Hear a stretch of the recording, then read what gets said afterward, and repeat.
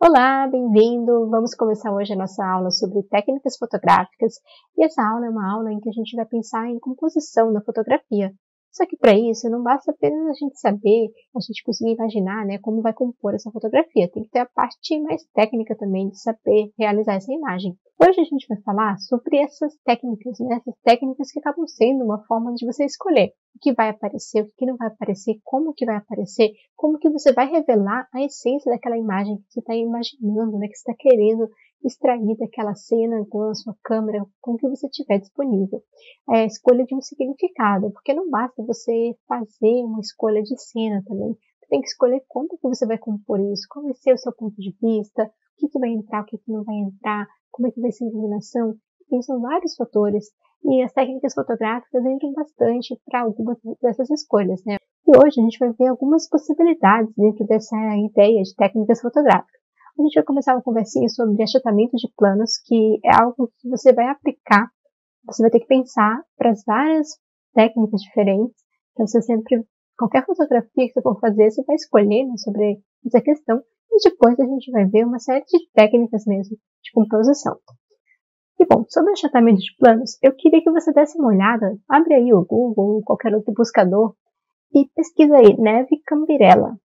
Se você é daqui da região de Florianópolis, você já deve ter visto talvez essas imagens, talvez ao vivo, talvez fotografia. Se você mudou mais recentemente, não é daqui, nunca veio aqui, é, você acaba que não, talvez não saiba disso daqui.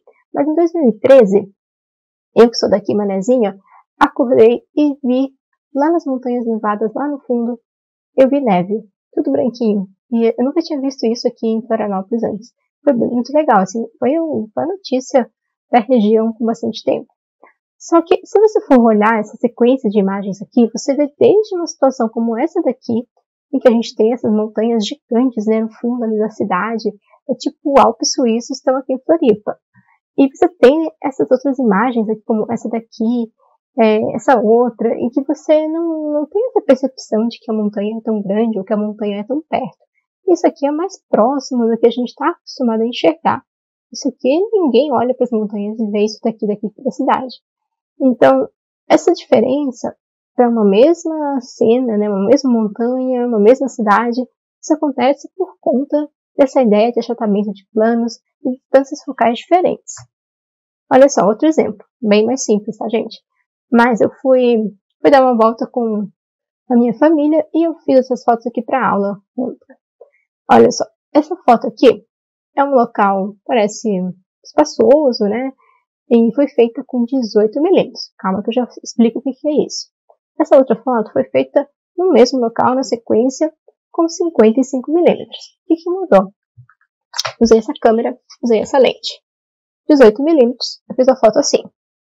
Aí eu só girei isso daqui, coloquei em 55, e aí é como se eu tivesse aproximado, né? Aquilo que a gente chama de zoom, que é uma aproximação aparente aqui da, do que está sendo fotografado, que é quando a gente muda então essa distância focal da câmera. Na hora que eu fiz isso, pareceu que o espaço é bem menor do que parece nessa primeira foto, né?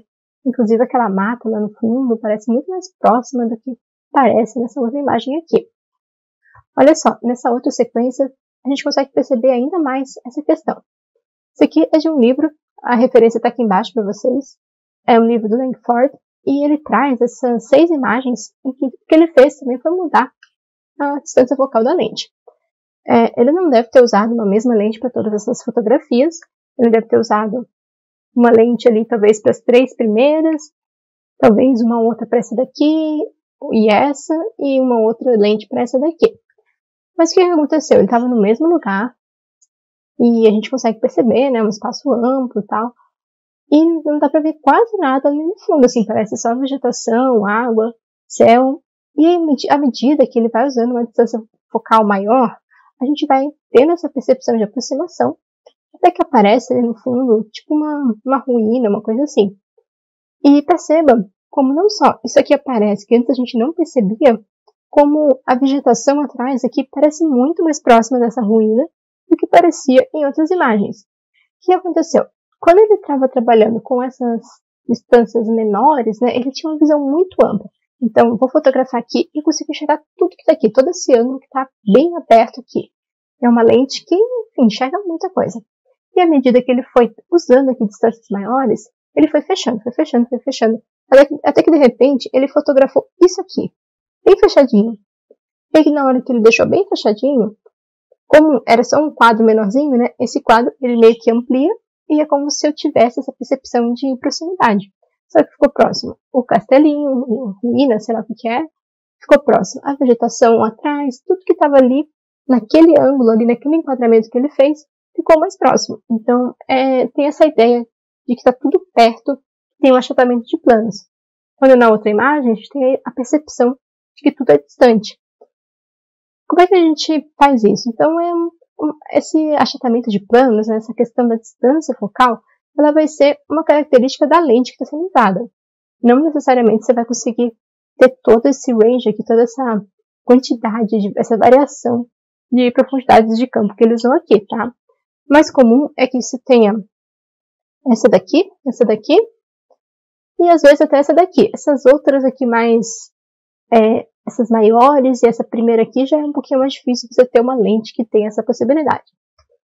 Bom, as lentes, é, quanto, a ideia é que geralmente quanto maior for a lente, mais você vai conseguir aproximar, né? Ela tem uma, essa distância focal maior.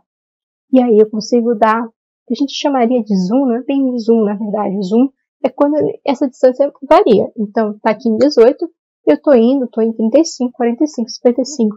Consigo variar. Tem lentes que são fixas e tem lentes que têm essa possibilidade de variar. Mas, de modo geral, lentes menores vão ter essa abertura grande e lentes maiores, né, mais compridas, vão ter essa abertura, essa ideia do enquadramento né, de uma região menor e aí vai aproximar. Como é que chama? lente grande angular, para essas lentes que conseguem ver tudo, e lente teleobjetiva para essa esse enquadramento, essa ideia de aproximação. Bom, por que, que você está falando de lente agora, hein, professora? Agora que é sobre técnicas fotográficas. Porque tem tudo a ver com a linguagem que eu quero trazer para a fotografia. Por exemplo, essa imagem aqui. Percebe como eu tenho esses pés assim, parecem grandes, né? Tem toda uma ideia, assim, sensação de poder, de empoderamento mesmo dessa pessoa. O fotógrafo usou uma distância focal aqui de 22 milímetros, então foi uma lente assim que abriu bastante e deu essa percepção de espaço. Agora, olha essa outra foto aqui, um engarrafamento. Agora, olha essa outra foto aqui. O fotógrafo usou 250 milímetros para fazer essa fotografia. Isso faz com que tudo pareça muito próximo. O carro parece estar próximo do outro, do outro, do outro a ponte, né, a estrutura da ponte, parece tudo muito próximo. Isso faz com que o engarrafamento pareça mais engarrafado, de certa forma. Você acaba reforçando essa ideia do congestionamento, de, do aperto. Então, se você botasse uma distância focal mais, é, mais, menor ali, que você conseguisse ter uma ideia de espaço, não faria tanta. não causaria um impacto tão grande quanto acaba causando na hora que a gente vê tudo muito apertado. Então, essa questão do achatamento de planos, a escolha de como é que você vai fazer essa fotografia em termos assim de percepção de espaço que você tem, ela é muito importante para transmitir uma linguagem específica. Agora, a gente vai ver a regra dos terços. A regra dos terços é a mais famosa das técnicas fotográficas. Com certeza, todo mundo que já fez um cursinho de fotografia, que já estudou um pouquinho de fotografia, já ouviu falar nessa técnica, já aplicou essa técnica, e mesmo que você nunca tenha feito nada antes, você talvez já tenha inconscientemente aplicado essa técnica. Porque a ideia das técnicas é que elas acabam trazendo a imagem, os pontos de interesse, de uma forma que seja mais agradável para o nosso olhar, para a nossa percepção. E na regra dos textos, quando a gente abre a nossa câmera, liga a câmera, você pode já ter notado esse, essa espécie de grade aqui. Isso aqui é uma configuração que muitas vezes você consegue ligar ou desligar na sua câmera, seja numa câmera fotográfica mesmo, seja no celular, mas a ideia é que você divide essa região da imagem, né, passa duas linhas horizontais e duas linhas verticais. Isso aqui é a regra dos textos. Como é que a gente aplica isso? A ideia é que na intersecção, que é onde junta a linha vertical com a horizontal, a gente tem um ponto de interesse. Na verdade, a gente acaba tendo quatro pontos de interesse. Então, né, cada uma dessas junções, elas vão ser, vão ser locais interessantes assim, para a gente posicionar alguma coisa da nossa fotografia, algum, algum elemento interessante para a nossa imagem. Também são de interesse as linhas verticais. Então, se for uma coisa mais vertical, você pode posicionar na linha vertical ao invés de um ponto. E também são de interesse as linhas horizontais. Olha na prática. Essa foto aqui. A corujinha, essa foto aqui foi eu que fiz. É, essa corujinha, ela tem dois alinhamentos interessantes. Ela tem ao mesmo tempo a cabeça da coruja, que acaba sendo um ponto que destaca mais, né? Tem um olhar dela, tem esse olhar meio, meio julgando, meio olhando, enfim. E ela está posicionada no ponto aqui, na intersecção entre as retas. Ao mesmo tempo, a gente tem o corpo da, da coruja, né? Que acaba adotando, então, esse posicionamento vertical aqui na imagem. Eu tenho, então, ao mesmo tempo, o uso do ponto e da linha vertical. E falando em linhas, a gente chega na segunda técnica, a técnica que usa linhas. Linhas, elas são um dos elementos mais básicos da composição e elas são bastante interessantes na fotografia. Veja essa foto aqui, feita debaixo de uma, uma torre de transmissão, alguma coisa assim. Olha que interessante, a sequência de linhas em vários ângulos diferentes, linhas retas e o contraste com o fundo. Visualmente, elas podem ser muito interessantes. Claro que uma coisa é você ter essas linhas colocadas como nessa foto aqui, e outra bem diferente é você querer bater uma foto na cidade e você tem aquele monte de fio telefônico, enfim, passando no meio da sua fotografia. E outra bem diferente é você ter as linhas aparecendo ali na fotografia, mas elas não são destaque. Então, se elas aparecem só perdidas ali na foto, isso não é usar a técnica das linhas, tá? Na técnica das linhas, as linhas realmente são o assunto principal.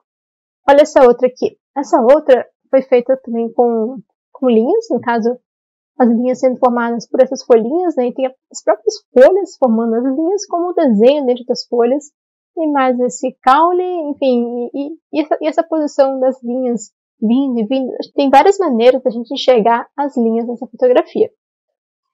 E a gente tem aqui uma terceira técnica chamada simetria. A simetria, o nome já acaba indicando o que, que é, né? Vai ser essa busca por uma, alguma coisa que tem um eixo no meio e um lado e o outro lado seja praticamente iguais.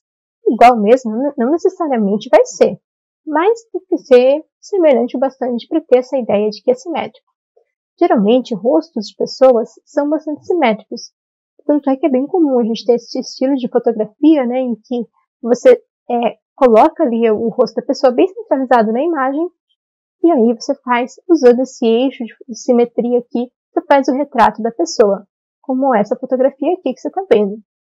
A próxima técnica é a técnica chamada primeiro plano.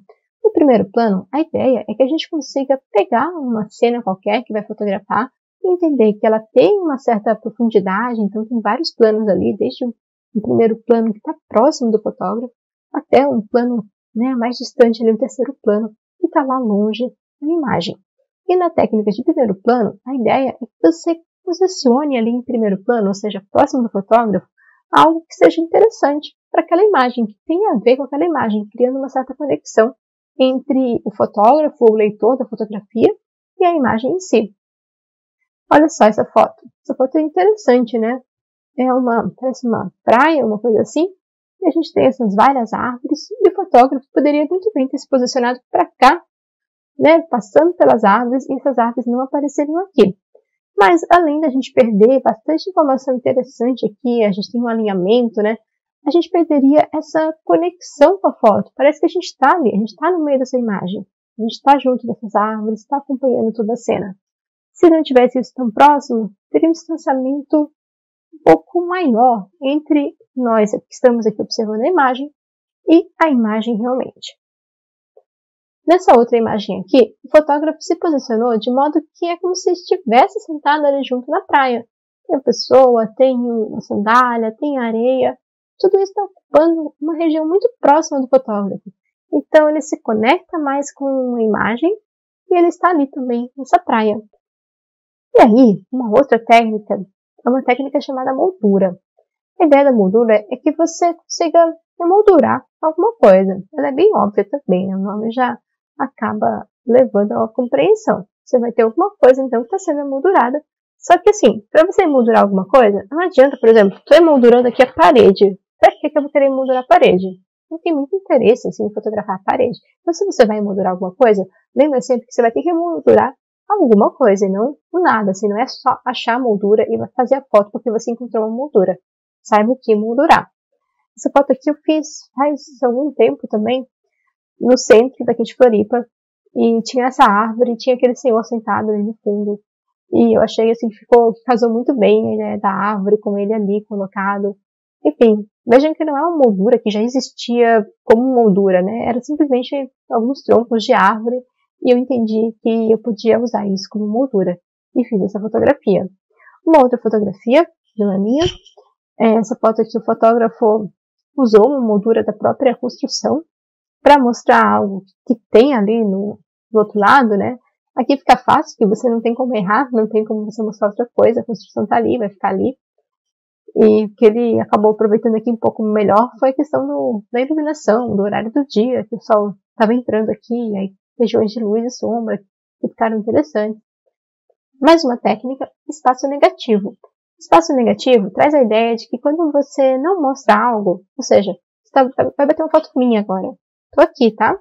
E tem todo esse espaço aqui atrás de mim que não está mostrando algo, mas o não mostrar algo também é algo. Ou seja, você pega uma foto como essa daqui. Eu tenho essa pessoa que, que acabou de escalar, né, essa, essa pedra daqui no alto, e tem essa imensidão de céu acima da pessoa. É meio que uma ideia de que tem, tem mais acima da pessoa e ela chegou tão alto no céu que, sei lá, o que ela viu ali no alto no céu, que tinha ali no céu que ela conseguiu se conectar de repente, ou o que, que vai aparecer ali a, interpretação é de cada um. A ideia do espaço negativo na fotografia não é necessariamente você conseguir imaginar algo daquele espaço, uma forma, como às vezes a gente vê em outros contextos, tá? Mas o espaço negativo na fotografia pode ser também a percepção de que tem um espaço grande, relativamente homogêneo, sem muita informação, e que esse espaço permite uma ação, permite que aconteça algo, permite que essa pessoa, sei lá, saia voando, se conecte com com, com alguém lá em cima, vem um raio de luz, vem um passarinho, vem qualquer coisa, vem um dragão, qualquer coisa pode acontecer ali, porque tem espaço para acontecer. Mais uma, fotografia macro. A ideia de que você consegue se aproximar das coisas, fica tudo muito perto, fica tudo muito grande e você acaba tendo acesso a um novo mundo. Isso não é algo que você vai conseguir fazer necessariamente com qualquer equipamento, tá? Por exemplo, essa câmera que eu estou usando agora, no momento eu estou com uma lente que eu não consigo fazer fotografia macro. Até tem uma lente que tem a opção de fotografia macro. Ela não é uma lente macro, mas ela tem a opção macro. E, mas essa daqui eu não consigo. Se eu quiser tentar fazer uma foto bem próxima, entender esse novo mundo, eu não consigo, tá, gente? Se você tiver uma câmera, talvez tenha esse modo, talvez você não tenha. Mas geralmente câmera de celular acaba tendo um modo macro, tá? Você pode experimentar né, costuma ter um íconezinho de uma, de uma flor. Aí você liga aquele modo macro e você consegue ter essa ideia de aproximação do seu objeto ser fotografado. Essa foto é minha com a outra lente que eu falei. É uma lente teleobjetiva, chega a 300mm, e de 200 a 300mm ela tem um modo macro. Eu fotografei essa aranha e vocês não têm noção da, da pose que eu tive que ficar para fazer essa foto. Assim, fiquei toda torta para conseguir ao mesmo tempo fotografar a aranha, ficar na distância correta para poder focar e pegar a luz, já era uma luz de fim do dia, essa luz que estava iluminando a teia e fazendo essa imagem, iluminando aqui as patinhas, da, as perninhas da, da aranha e consegui fazer essa fotografia. Contra-luz. Contra-luz, a ideia é que é o seguinte, eu vou fazer uma foto, geralmente eu vou iluminar o meu objeto, o meu modelo, né, que nem aqui, tem a luz que está me iluminando e legal, você está me vendo eu consigo fazer essa, essa aula, gravar essa aula para você. Agora, no contra-luz, a luz não está aqui me iluminando, a luz vai estar tá atrás de mim, a luz vai estar tá ofuscando. Essa luz que ofusca, ela acaba sendo bem interessante também para fotografia, quando bem usada. Essa foto também eu já fiz já faz um tempo. Foi um pôr do sol lindo, maravilhoso, não tem filtro nenhum aqui, gente. A, a cor era essa mesmo.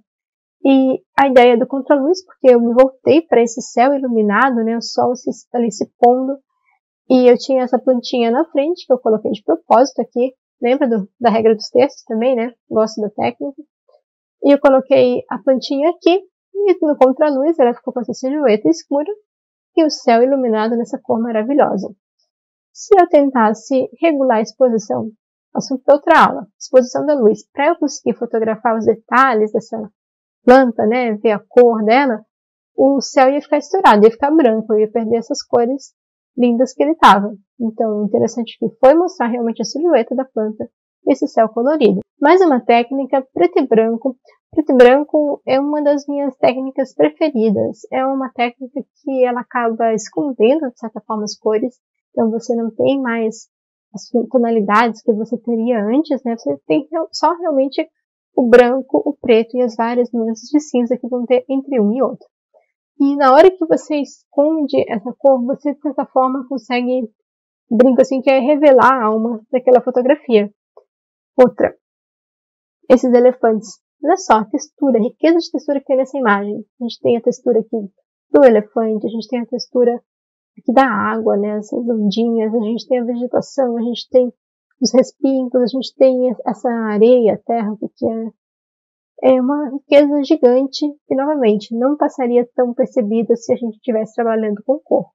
Então, o preto e branco te revela, de certa forma, mais do que a fotografia a cores. Agora, uma sugestão é que você não faça direto a fotografia em preto e branco, porque se você fizer isso, a sua foto é preto e branco e ponto. Agora, se fizer essa fotografia em cores, depois você tem a possibilidade de, em um programa de pós-edição, transformar isso em preto e branco. É muito fácil, tá? Agora, ao contrário, não é que não dê para fazer, até dá, mas é muito, muito, muito mais trabalhoso. Vai ter que manualmente colorir e pensar nas cores, e se está tudo certo, e se era assim mesmo, se tinha um detalhe tem que botar. Então, mais fácil você fazer em cores e mudar para preto e branco do que ao contrário, se você quiser mudar, né, fez em preto e branco, se arrependeu, quase que não tem jeito. Tem, mas é quase como se não tivesse, porque é bem mais trabalhoso. E a proposta dessa aula era passar com você algumas das principais técnicas de fotografia para que você consiga compor as suas fotos. Então agora eu quero que você pegue a sua câmera, pegue o seu celular, pegue o que você tiver à disposição e vai lá tentar fazer algumas fotos. Olha a sua volta, tenho certeza que tem um monte de coisa interessante para fotografar. Às vezes falta só desenvolver o olhar fotográfico para que você comece a entender essas fotografias, a fazer surgir essas fotografias aí no seu espaço. Um grande abraço, até a próxima aula.